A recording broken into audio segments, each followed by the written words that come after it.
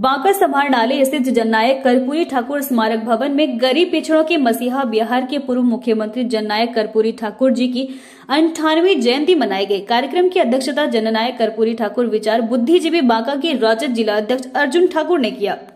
वहीं उनके सभी अनुनायियों ने मिलकर दीप प्रज्वलित कर माल्यार्पण की तथा उन्हें श्रद्धा सुमन अर्पित किया एवं उपस्थित सभी लोगों को संबोधित करते हुए जन नायक कर्पूरी ठाकुर जी के विचारधारा पर प्रकाश डाले एवं उनके आदर्शों पर चलने को कहा। आगे सबों ने एक स्वर में सरकार से तीन मांगे रखी, जिसमें भारत सरकार कर्पूरी ठाकुर जी को भारत रत्न की उपाधि दे।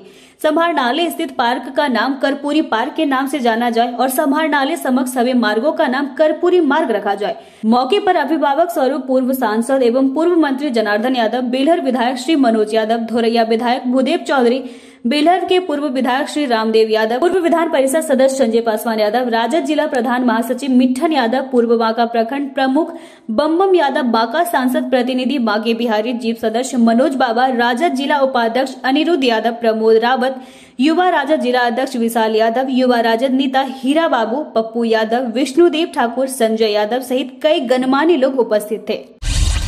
पुलिस कप्तान के द्वारा अमरपुर थाना का किया गया निरीक्षण। बांका पुलिस कप्तान के द्वारा अमरपुर थाना का निरीक्षण किया गया, जिसमें अमरपुर थाने के चौकीदार सहित सभी पुलिसकर्मी मौजूद थे। पुलिस कप्तान के आते ही सभी पुलिस कर्मियों के द्वारा गार्ड ऑफ़ ऑनर दिए गए, साथ ही पुलिस कप्तान के द्वारा सभी रजिस्टर का जाँच किया गया। साथ ही अपराधी पर नज़र बनाए रखना है, साथ ही रोको टोको अभियान भी चलाना है। लगातार गाड़ी गश्ती को हर क्षेत्र में निकालना है।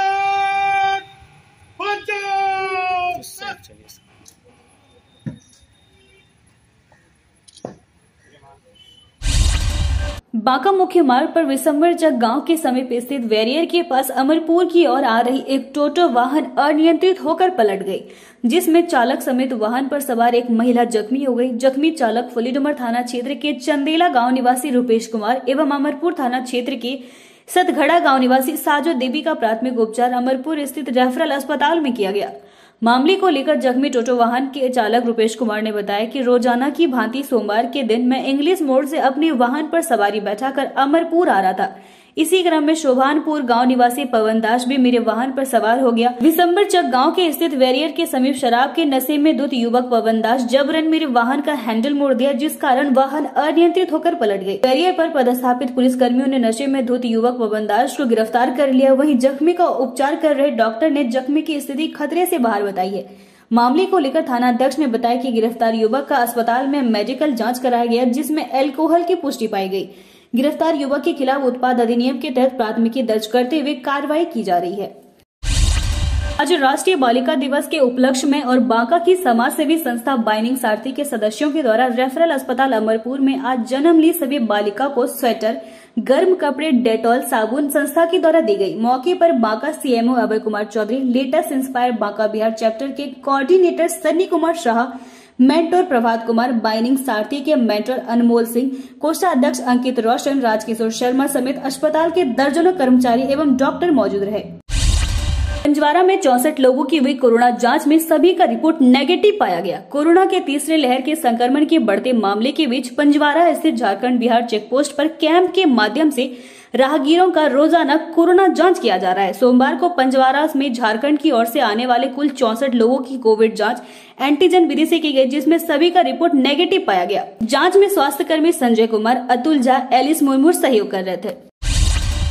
कोरोना की तीसरी लहर के संक्रमण के फैलने के खतरे के मद्देनजर सरकार द्वारा जारी किए गए गाइडलाइन के अनुपालन के लिए सोमवार को पंजवारा पुलिस द्वारा मास्क जाँच अभियान चलाया गया। पंजवारा थाना अध्यक्ष अनिल कुमार शाह के निर्देश पर थाना के एएसआई आशुतोष कुमार सिंह ने पंजवारा बाज़ार में घूम घूम कर मास्क नहीं पहनने वाले दुकानदारों, राहगीरों, वाहन चालकों को कड़ी फटकार लगाते हुए जुर्माना वसूला। इस कार्रवाई में पंजवारा में कुल चौबीस लोगों से बारह का जुर्माना वसूला गया। वहीं इस दौरान पुलिस ने मुख्य मार्ग पर वाहन जाँच अभियान भी चलाया और यातायात के नियमों का उल्लंघन कर वाहन चलाने वाले वाहन चालकों से 2000 का जुर्माना वसूला गया।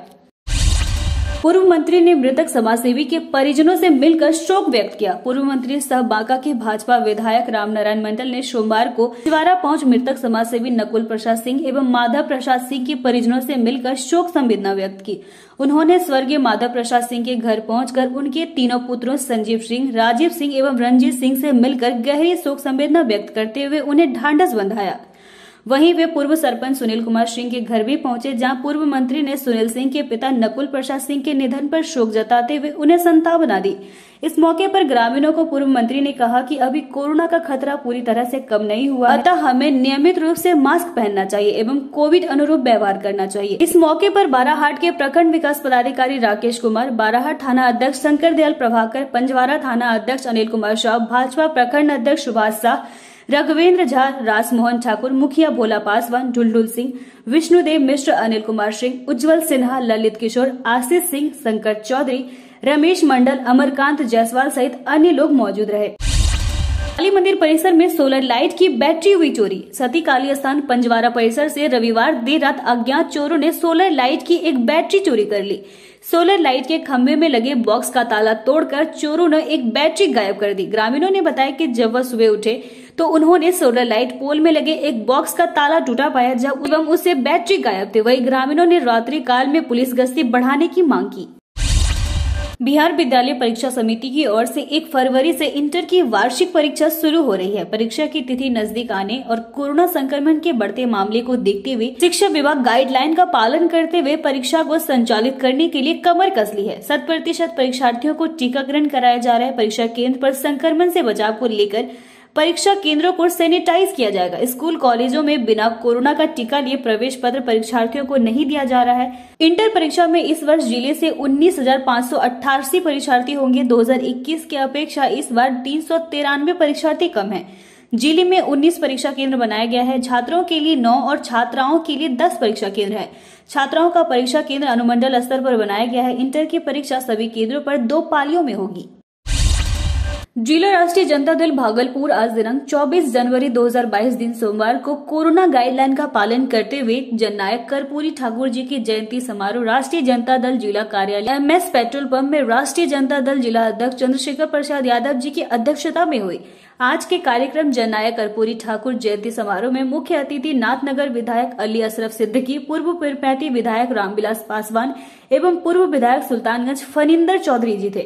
इस कार्यक्रम का संचालन जिला प्रधान महासचिव विश्वजीत कुशवाहा ने किया। जननायक कर्पूरी जी ठाकुर की जयंती समारोह के मौके पर राजद जिला अध्यक्ष चंद्रशेखर प्रसाद यादव जी ने जन नायक कर्पूरी जी को याद करते हुए उनके जीवनी पर प्रकाश डाला। इस मौके पर जिला मीडिया प्रभारी मंजीत ठाकुर के साथ साथ राष्ट्रीय जनता दल के सैकड़ों कार्यकर्तागण मौजूद थे।